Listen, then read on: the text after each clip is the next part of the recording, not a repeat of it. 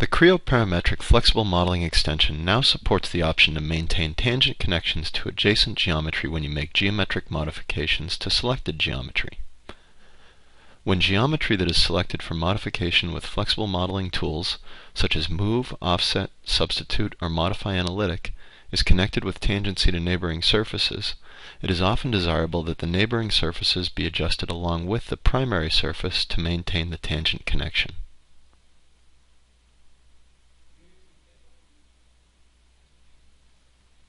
The system applies some default connections to the neighboring geometry, and you can apply user-defined conditions to control how it should be adjusted to accommodate the changes to the primary geometry.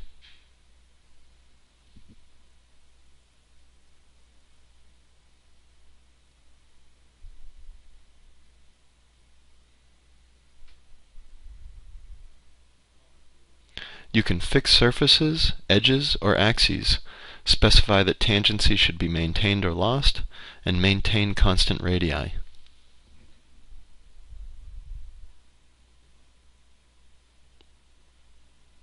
The ability to control the propagation of geometric edits to tangentially attached surfaces greatly enhances the power and flexibility of the Creo Parametric Flexible Modeling extension.